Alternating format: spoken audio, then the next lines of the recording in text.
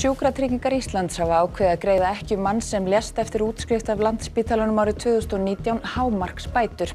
Landspítalinn telur að engin mistök hafi verið gerð í málinu en lögmaður ekkunar segir augljóst að svo hafi verið. Tafir urðu á atkvæðagreiðslu um sekt eða síknu Donalds Trumps fyrirverandi bandaríkjaforseta í dag þegar ákæruvaldið fór fram á vitnaleiðslur. Af þeim verður þó ekki og líklegt þykir að Trump verði síknaður í kvöld. Yfirvöld í Pakistan hafa hafið rannsókn á því hvað fór úrskeiðis í leiðangri Jóns Snorra Sigjónssonar og tveggja félaga hans á fjallinu K2.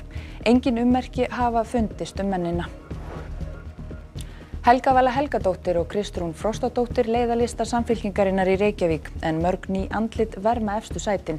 Formaður uppstillingarnemdarinnar sér eftir þeim sem hættu en segir takmörkuð gæði fylgja efstu sætunum.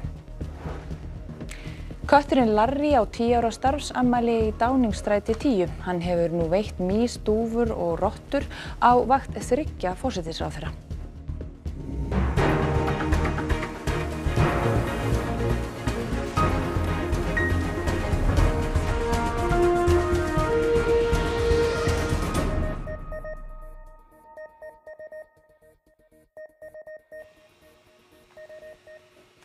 Komið sæl. Veðurstofan hefur líst óvissustígi vegna ofanflóða hætt á Austurlandi sem tekur gildi klukkan 8 í kvöld. Spáður mikill í rigningu næsta einn og halvan sólarhingin. Fylst verður með aðstæðum og metið á morgun hvort grýpa þar til ráðstafana meðal annars á Seyðisfyrði þar sem skriður fjallu í desember. Birta Líf Krististótt Veðurfrængur, hversu mikil rigning er í kortunum? Það er búist að verði um 100 til 200 mm sem verður uppsafna næsta einn og halvan sólarhingin á Östfjörðum og það er að byrja núna sent í nótt að rigningar lálendu snjókomandi fjalla, hríðarviðvörun í gildi núna í nótt frá miðnætti til 8 og á það aðalega við um á fjallvögum en síðan er úrkomu viðvörun á morgun frá 8 til miðnættis og það er útlitt fyrir að það stitti upp aðfara nótt mándags. Og þetta ástand svona ykkur hættun á skriðuföll? Já, það gerir það, þannig það er óvissu stig á því hvort það muni skriðu, skriður falla og svo er líka útlýtt fyrir það er mikið búið að snjóa þarna hvort það geti jafnvel verið eitthvað vót snjóflóð eða krapaflóð líka. En ef þú setur þessa ofankomi í samhengi við ofankomuna sem varð og regninguna sem varð þannig desember þegar öskuna fjall, uh, hversu mikil þessi regning núna?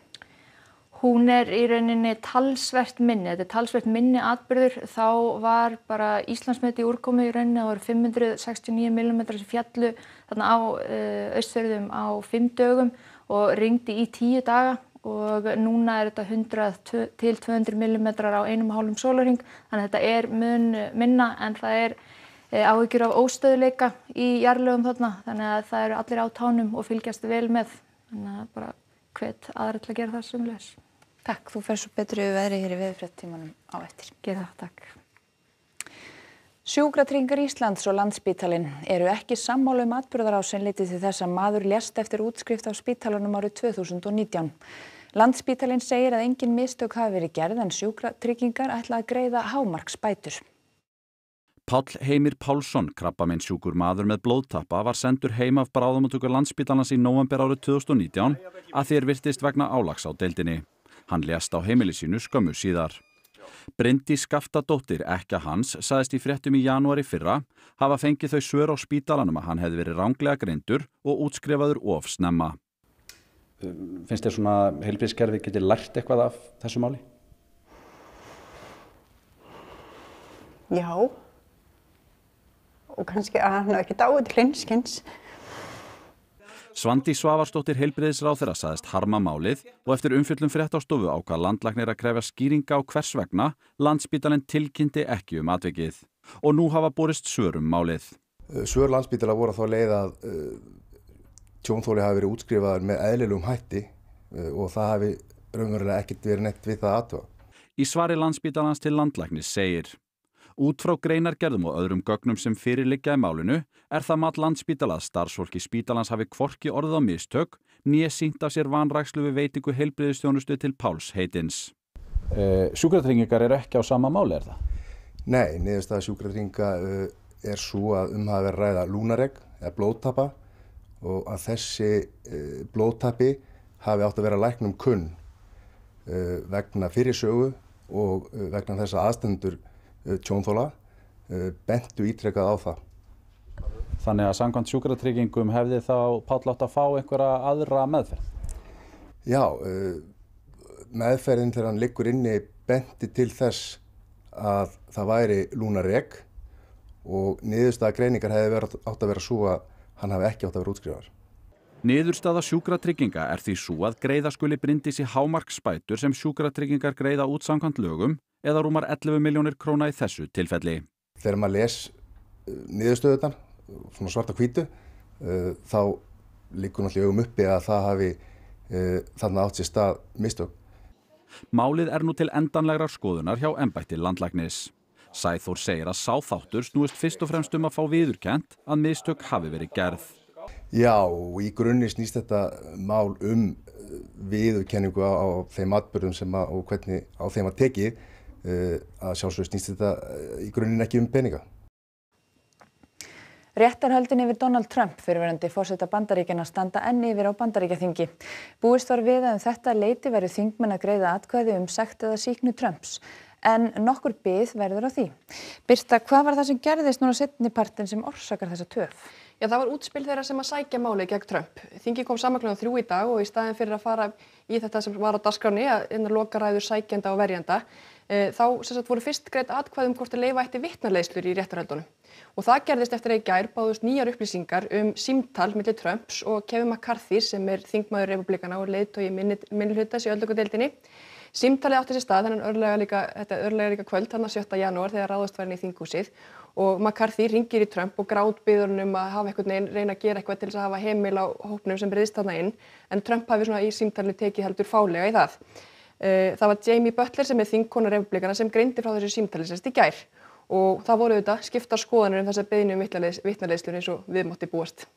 Last night this was breaking news and it responded directly to a question that was being raised by the President's Defense Counsel, saying that we had not sufficiently proven to their satisfaction, although I think we've proven to the satisfaction of the American people, certainly, that the President, after the breach and the invasion took place, was not working on the side of defending the capital, but rather was continuing to pursue his political goals.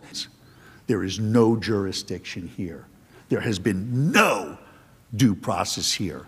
They have completely violated and ignored and stepped on the Constitution of the United States. They have trampled on it like people who have no respect for it.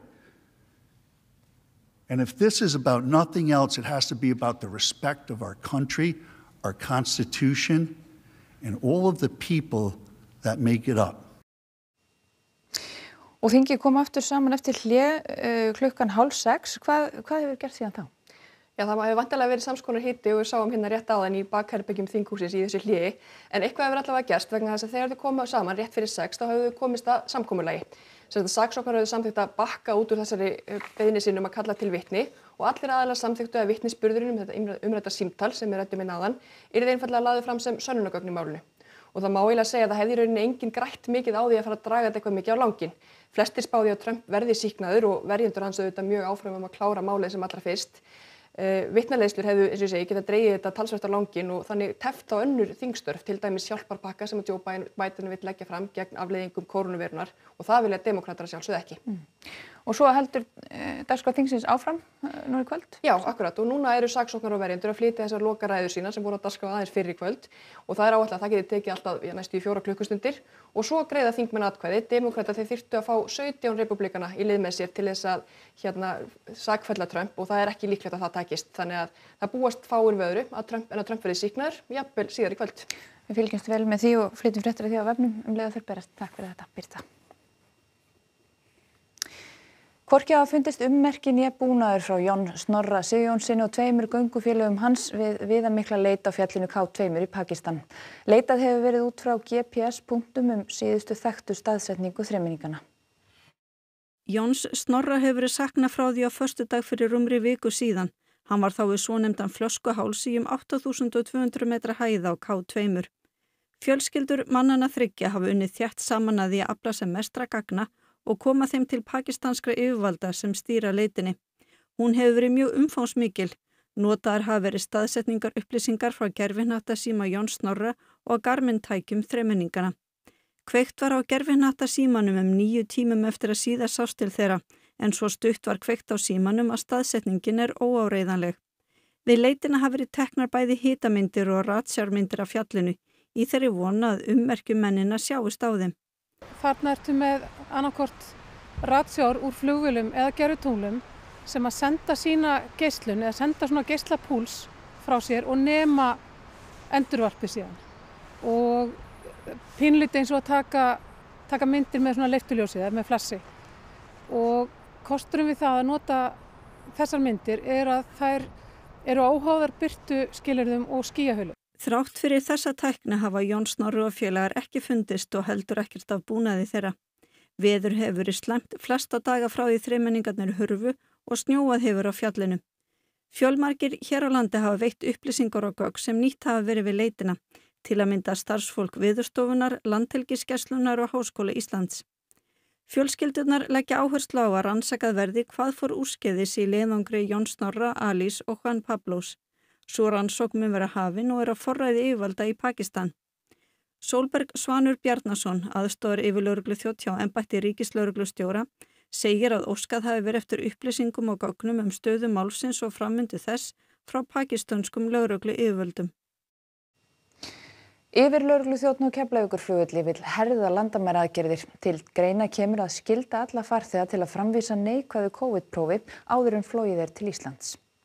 Smit er í lámarki. Engin greindist innanlands í gær, einn á landamærunum. Um miðjan janúar var reglum á landamærum breytt, allir farþegar skildaðir í tvöfaldaskimun með fymta sótkvi á milli og sá möguleiki að segjast allir tveggja vikna sótkvi í stað skimunar afnuminn. Sóttvarnalagnir saðist í vikunni ætla að senda heilbriðisraðara tillögur á næstu dögum um frekari aðgerðir á landamærunum. Tillögurnar voru unnar í samstarfi við landamæraverði á keflauguflugulli. Reynslan sínur okkur að það þarf ekki um einn eða tvo einstaklinga smitað inn og við erum með tillögur ímsar um, um hertar aðgerðir. Aðal tillögan fælst í því að láta alla fartega framvísa neikvæðu COVID-19 prófi áður en þeir fljúa til landsins. Það myndi þá vera til viðbútar við tvöföldu skimununa. Það er líka verið að skoða hvernig megi tryggja að það náist í fólk sem á að vera í sótkví og komi veg fyrir að ættingjar sæki það á völlin. Það kemur til greina að láta fólk býða niðurstöðu fyrstu skimunar á flúvellinum. Það eru þá fjórir, kannski upp í 10-12 tímar sem það þurft að býða.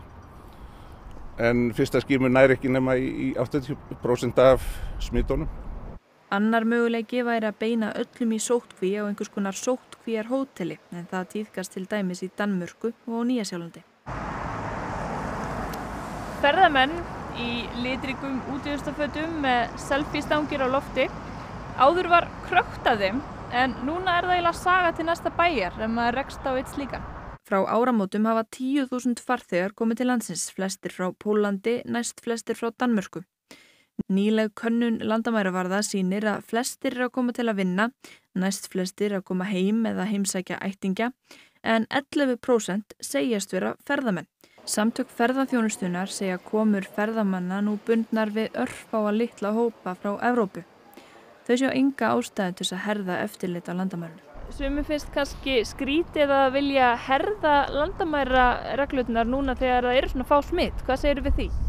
Nei, það er ekkert skrítið. Við viljum halda þessu þannig og, og hérna landamærin eru eina leiðin fyrir veruna inn í landið. Nær algjör endurnýjun er í efstu sætunum á frambúslistum samfélkingarinnar í Reykjavík. Formaður uppstillinganemndar hefur skilning á brottkvarfi flokksmanna sem fengu ekki þann framgang sem þau töldu sig eiga skilið. Fyrirverandi ráþyra flokksins er líklegi eitt af efstu sætunum í kragan. Fundur Reykjavíkur félagana hófst upp úr hádegi með þáttökum mörg hundruð félagsmanna.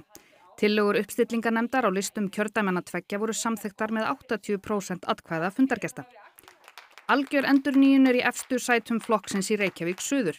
Kristrún Frostadóttir Hagfræðingur tekur fyrsta sætið af Ágústi Ólafi Ágústsinni þingmanni sem leitti fyrir síðustu kostningar en þáði ekki sæti nú eftir töluverð innanflokks átök honum tengdum. Í öðru sæti er þingkonan Rósa Björk Brynjólfsdóttir sem leitti áður lista Vafki í kraganum. Jóhanna Vigdís Guðmundsdóttir átti þetta sæti fyrir fjórum árum en hún hætti í flokknum í vikunni eftir að hafa verið bóðið þriðja sætið nú. En það sæti þáði hins vegar Viðar Eggertsson leikstjóri. Rítöfundurinn Einar Kárasson var þar 2017. Formaður uppstillinganemdarinnar segir mikla eftirsjá eftir þeim Ágústi Ólafi og Jóhannu Vigdísi en hefur skilning á því að það sé erfitt að fá ekki þann framgang sem manni finnst maður eiga skilið. Ágúst er nú reyndar þingmaður ennþá og, og er starfandi og, og, og hérna, vinnur mjög vel þannig að hérna, uh, hann hættir ekki á þingi þá fyrir heldur ný haust. Uh, Jóhanna Vigdís tók ákvörðunum að, að, að segja sig úr floknum og ég sé mjög eftir henni þar vegna þess að dugleiri mannesku í flokkstarfi er vart hægt að finna og, og betri mannesku til að vinna með er vart hægt að finna. Hversna var henni þá ekki búið sæti ofar á lista?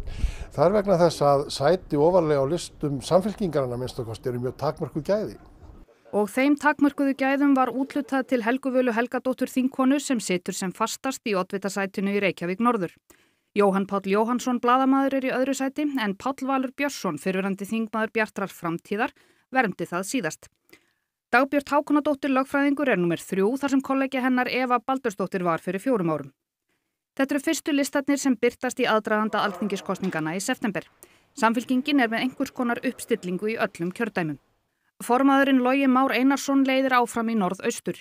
Ekki hefur annað heyrst en að Guðjón S. Brjánsson haldi oddvitasætinu í norðvestur kjördæmi og Otni Harðardóttir í söður.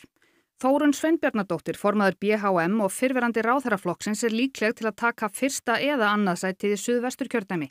En Guðmundur Andrei Tórsson leiti kragan fyrir síðustu kostningar og hann vill halda áfram á þingi en gerir ekki kröfu um oddvitasæti. Hundruð kvenna komur saman í Nepal í gær til að mótmála fyrirhugum lagabreitingum sem skerða ferðafrælsi kvenna í landinu. Verði lagabreitingin samþygt þurfa allar konur undir fertu að fá leifi frá fjölskyldu eða stjórnvöldum til að ferðast til mið-austurlanda eða Afríku. Stjórnvöld segja breytinguna eiga spórna við mannsali í landinu. Mótmælendur segja hins vegar að skerðing á frelsi kvenna sé ekki skref í átt að jafnrétti sem sé verulega ábútafant í landinu. हामी normal पर्सनहरू आएर यसरी सहभागी भएका छौँ। कहीँ न कहीँ हामी सबै चाहन्छौँ कि सुरक्षित होस् हामी। हामी पनि महिला हो। हामीभन्दा पछिको जेनेरेसन पनि सुरक्षित होस्। हामीभन्दा अगाडिको जेनेरेसन पनि सुरक्षित होस्। लाई चाहिँ अति नै अपहेलना गर्ने। एउटा त बालबालिका बालिकाहरू पर्टिकुलरली अन्डर एज बालिकाहरू चाहिँ नि बलात्कृत हुने र मारिने आँकडाहरू यत्तिका बढ्दाखेरि पनि प्रहरी र राज्य चाहिँ धेरै यसलाई सिरियसली नलिरहेको। Heimsendingaþjónustan aha.is hefur þróað innkaupa app sem skilur íslensku. Frangandastjórin segir bætt aðgengi að rattgreiningar búnaði á íslensku forsendu þess að fyrirtæki sjáu hagsinni því að hanna forrið sem tala og skilja íslenskt mál. Sumir velja að gera matarinköpin á netinu og fá matinn sendan heim. Vinsældir þessa fyrirkomulags júkust í heimsfaraldrinu.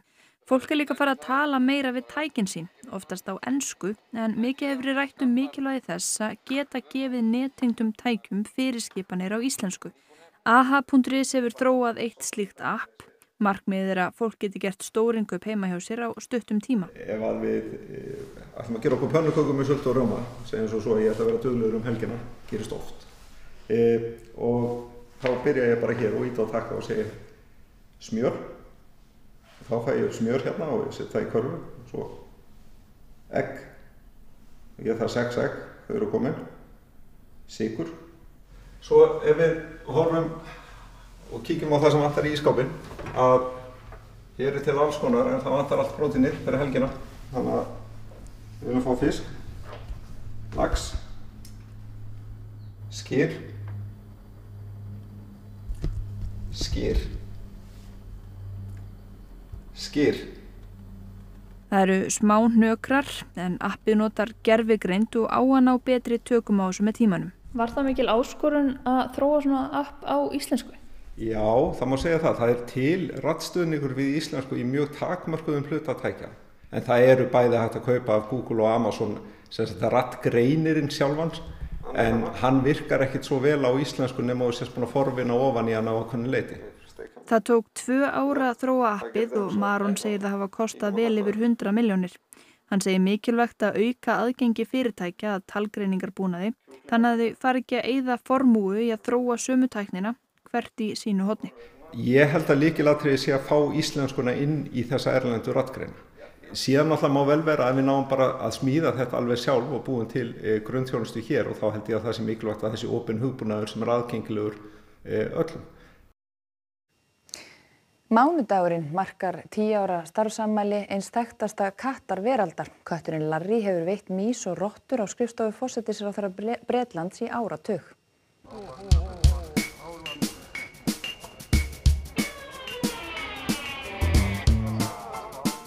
Það var David Cameron, þáverandi fósettisráþara Bretlands sem fekk sér Larry eftir að vart hafi verið við rottur í kjallara Dáningstrætis 10. Síðan þá hefur Larry staðið þar vaktina í heil tíu ára á mánudaginn kemur.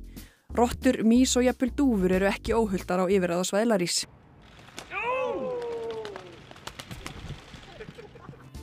Þá var húnum heldur ekki sérlega vel tekið Palmerston sem var sérlegur músaveiðari utanríkisræðunitis Bretlands.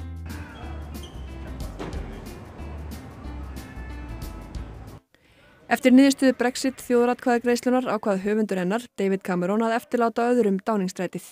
Sviftingar í stjórnmálum virðast hins vegar hafa lítil áhrif á Larry sem satt þar sem fastast og hefur nú staðið sína plikt í áratug á vakt þryggja fósittisræðra. Larry fer heldur ekki í manngreiningarálit og lætur sér alla jafna fátum finnast þó tignir gestir sprangi um dáningstrætið. Og þá skulum við sjá hvað Haugur Harðarsson ætlar að bjóða upp á í Íþróttafréttum kvöldsins. Fram og Valur mættustu Reykjavíkur og toppslægi úrvalstelt hvenna í handbólta í dag. Að venju var mikið undir í leiknum. Jóhann Berg Guðmundsson skoraði fyrir Burnley í ennskórulstiltin í fótbolta í dag, annan leikin í röð. Og við sjáum heimsmeistara Brun, dramatík hjá Leicester og Liverpool í ennska boltanum og læti á opna ástralska tennismótinu, allt í íþrótum hér rétt handan við hotnið. Og aðru hverjum ykkur rétt að renni yfir það sem var helst í þessum fréttatíma. Sjúkratryggingar Íslands hafa ákveðið að greiða ekki mann sem lést eftir útskrift af landsbítalanum árið 2019 hámarks bætur. Landsbítalinn telur að engin mistök hafi verið gerð í málunum en lögmaður ekkunar segir augljóst að svo hafi verið. Tafir urðu á atkvæðagreiðslum sektiða síknu Donalds Trumps fyrirverandi bandaríkjaforseti í dag þegar ákjöruvaldið fór fram á vittnaleiðslur. Af þeim verður þó ekki og líklegt þykir að Trump verði síknaður síðar í kvöld. Yfirvöld í Pakistan hafa hafið rannsókn á því hvað fór úrskeiðis í leiðangri Jóns Snorra Sigurjónssonar og tveggja félaga hans á fjallinu K2. Engin ummerki hafa fundist um mennina. Helga Vala Helgadóttir og Kristrún Frostadóttir leiðalista samfélkingarinnar í Reykjavík en mörg ný andlit verma efstu sætin. Formaður uppstillingarnemdarinnar sér eftir þeim sem hættu en segir efstu sætin takmörku gæði. Og kötturinn Larry á tíu ára starfsamæli í Dáningsstræti 10. Hann hefur nú veitt mís, rottur og dúfur á vakt þryggja fórsetisráðherra. Fleira verða ekki að þessu sinni. Næstu frétti verða saður í útvarpinu klukkan 10 kvöld og vefurinn rúf.is er uppfærður allan sólarhingin. Við minnum einnig á rúf appið en þessum fréttatíma er lokið. Hafið það gott og verið sæl.